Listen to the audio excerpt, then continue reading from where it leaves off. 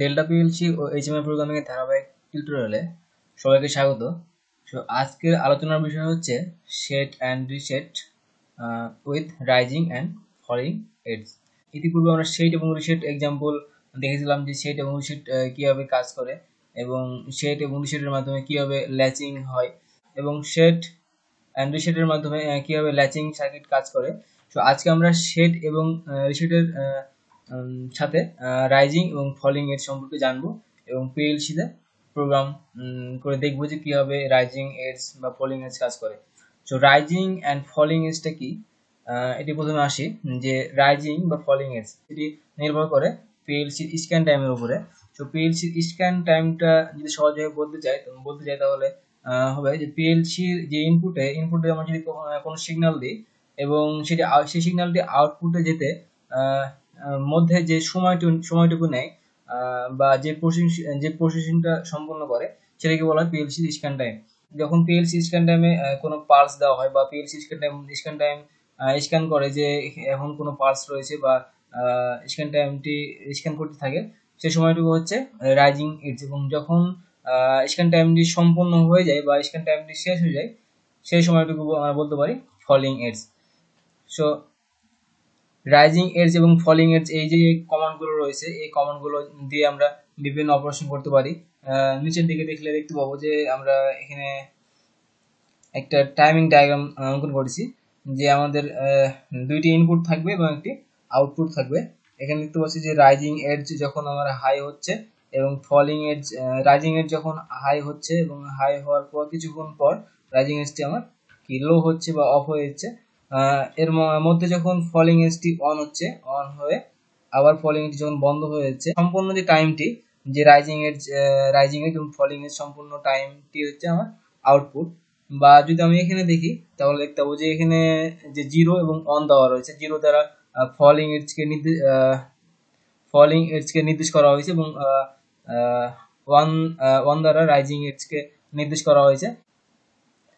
এখানে দেখুন যে রাইজিং এর যে রাইজিং এর যখন আমার লো হচ্ছে এবং ফলিং এর যখন আমার হাই হচ্ছে, অর্থাৎ রাইজিং এর যে শেষ এবং ফলিং এর যে শুরু, এই সম্পূর্ণ টাইমটা হচ্ছে আমার অন ক্লক সাইকেল এই সম্পূর্ণ সময়টা হচ্ছে আমার অন ক্লক সাইকেল এভাবে রাইজিং এজ এবং ফলিং এজটি কাজ করে।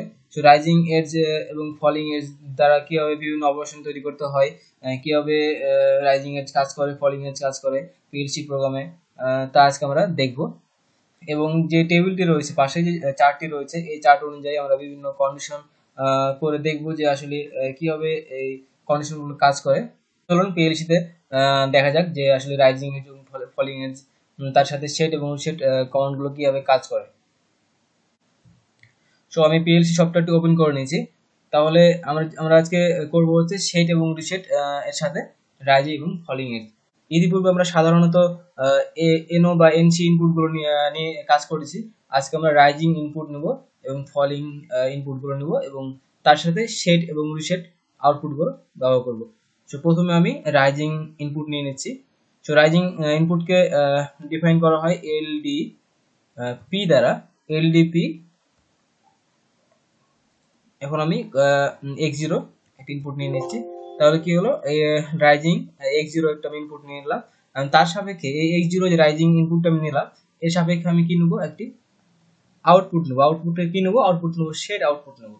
যাতে একবার প্রেস প্রেস করে ছেড়ে দিল আমার আউটপুটটি যেন অন হয়ে থেকে যায় বা ল্যাচিং হয়ে থেকে যায়। সো সেট ওয়াই জিরো একটা আউটপুট নিলাম। এবং আমি নতুন একটা নেটওয়ার্ক নিয়ে নেব। এখন রাইজিং এজের মাধ্যমে আমি কি আউটপুটটাকে অন করব এবং ফলিং এজের মাধ্যমে আমরা এই যে ওয়াই জিরো যে আউটপুট রয়েছে এটিকে আমরা বন্ধ করব। এই কারণে আমি এখন একটি ফলিং এজ যে ইনপুট রয়েছে এটি নিয়ে নেব। তো ফলিং এজ ইনপুটকে ডিফাইন করা হয় এল ডি এফ দ্বারা এবং আমি এক্সন নামে একটি ইনপুট নিয়ে নেব। এবং যে এ ওয়াই জিরো যে আউটপুট রয়েছে, এই আউটপুটকে বন্ধ করার জন্য আমরা রিসেট ওয়াই জিরো নামে একটি আউটপুট নিয়ে নেব। অর্থাৎ যখন আমার এক্স জিরোটি আমার যখন অন হবে তখন ওয়াই জিরোটি আমার ওয়াই জিরো যে আউটপুটটি রয়েছে এটি আমার অন হবে। আবার যখন এক্স অন যে ফলিং এর যে ইনপুটটি রয়েছে যখন এটি হাই হবে, তখন আমার ওয়াই জিরো যে ওয়াই জিরো যে রিসেট আউটপুট রয়েছে, এটি হাই হবে। তখন আমার ওয়াই জিরোটি বন্ধ হয়ে যাবে। সো এটি কীভাবে কাজ করে, আমরা সে চার্ট অনুযায়ী দেখি এবং সেই অনুযায়ী কন্ডিশনটি মিলাই যে ম্যাচ করছে এই করছে না। ছোট করে নেব আমি।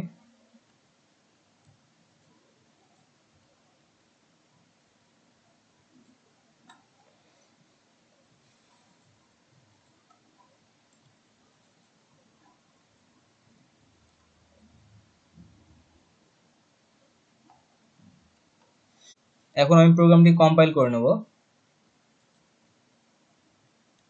কোনো এরর নেই। এখন প্রোগ্রামটি পিসিতে ডাউনলোড করে নেব।